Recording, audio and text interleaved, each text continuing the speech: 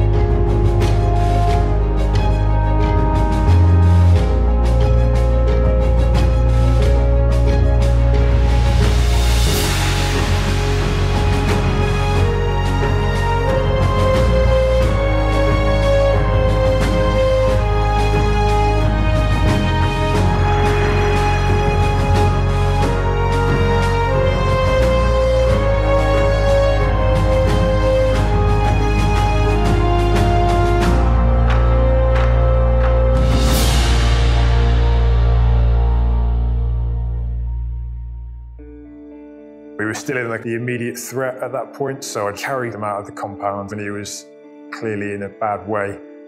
And myself and the medic who was on the ground at the time both just started working on him. From the moment he got hit and all the way until the extraction, he was under constant medical care. We uh, received a call very early in the day or in the morning. Um, actually, my uh, locally government issued phone was, you know, just blowing up with phone calls and text messages. About four, that's when, you know, the team started getting together. Um, the main team went out to the clinic. He had some pretty significant injuries. So he had a gunshot wound to his right thigh, and then he also had a secondary gunshot wound that went through his left paw. We had to perform an amputation on that paw that just unfortunately was not able to be recovered.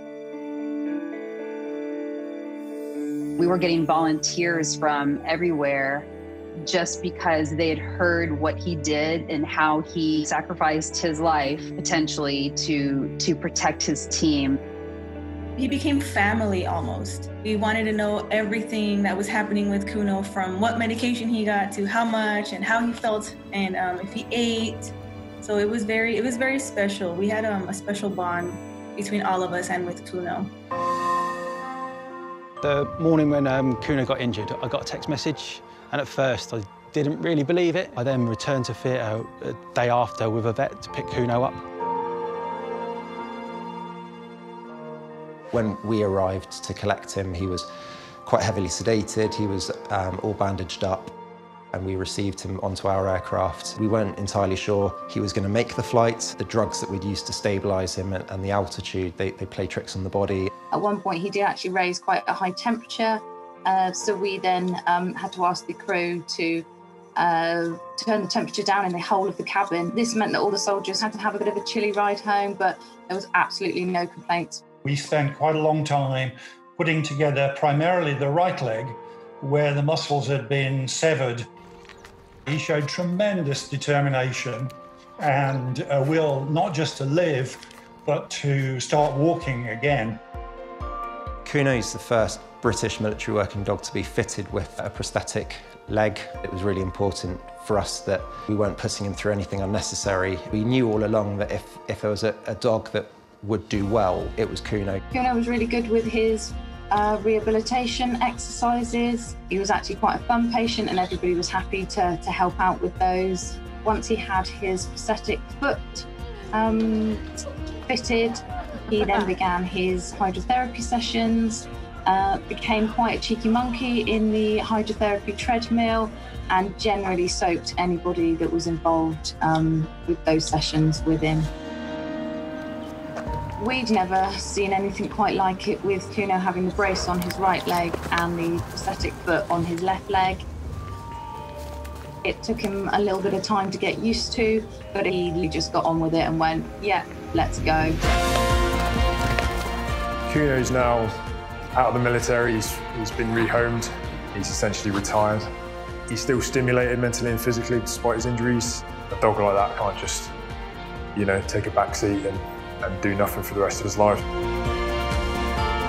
I can't talk for everyone else, but I think everyone will agree with me that when you see a dog, especially a dog like Kuno, on the ground working, doing his thing, it just makes everyone feel a lot more confident that chances of mission success have greatly increased. The fact that partway through it he was injured, but that didn't deter him. I think it's just an, enormous tribute to him that he, he managed to follow through uh, and do his duty.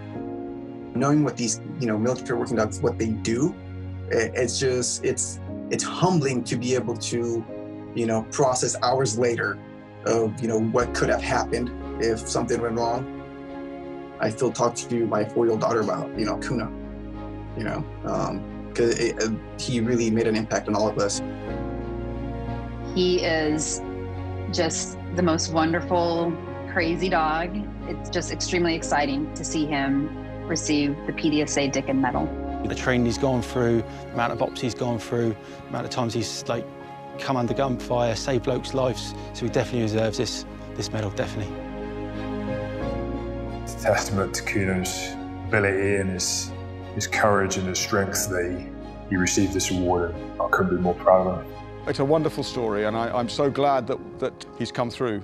And for all of those people who've supported him through that, they've done a terrific job.